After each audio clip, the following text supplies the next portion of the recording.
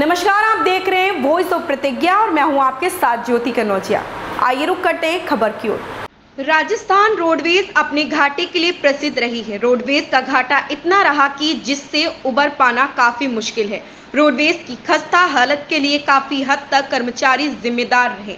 यात्रियों के द्वारा कई बार शिकायतें की जाती हैं कि परिचालक पैसे तो ले लेता है परंतु उसके बदले में टिकट नहीं देता। ऐसा ही ताज़ा मामला अलवर ज़िले में सामने आया है, जिसमें परिचालक सवारियों से पैसे की वसूली तो कर रहा है, परंतु टिकट न देखकर रुपए अपनी जेब में रख रहा है।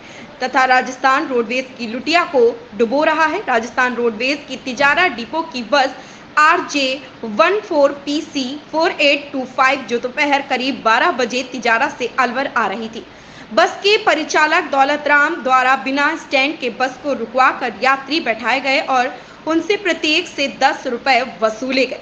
इसके बदले में यात्रियों को कोई टिकट नहीं दिया। जब परिचालक से पूछा कि आपने इनको टिकट क्यों नहीं दिया तो परिचालक ने कहा कि यहाँ पर स्टैंड नहीं है। अब सवाल यह उठता है कि जब स्टैंड नहीं था तो बस को क्यों रोककर यात्रियों को बैठाया गया? क्या इसी तरह रोडवेज़ के कर्मचारियों के द्वारा भ्रष्टाचार किया जाता रहेगा? क्यों नहीं दी टिकट? टिकट क्यों नहीं दिया आपने स्टैंड नहीं था स्टैंड नहीं था तो आपने बैठाया क्यों? हाँ? क्यों बैठाया आपने? वहाँ स्टैंड नहीं था आपने बैठाया क्यों? नहीं था तो। आपने आपने दस रुपये लिए नहीं उनसे?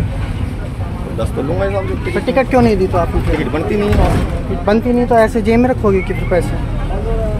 तो ये दो तीन सवारी बैठ गई आप स्लिप निकाल के तुम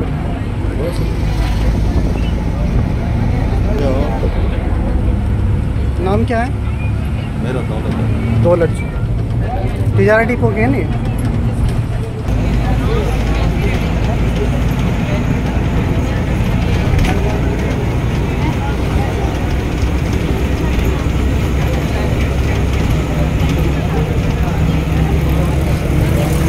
आपको टिकट नहीं दी ना मैडम दस रुपये दिए ना? आपने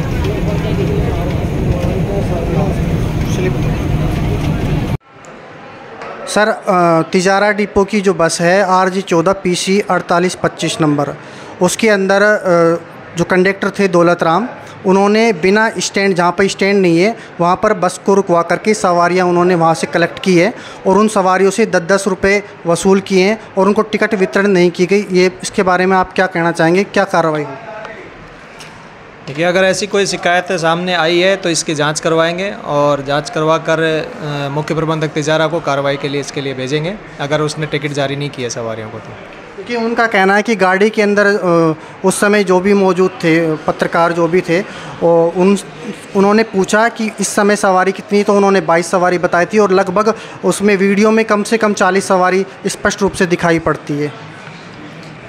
जो भी शिकायत है उसके लिए जाँच करवाकर मुख्य प्रबंधक तिजारा के पास में कार्रवाई के लिए भेजेंगे हम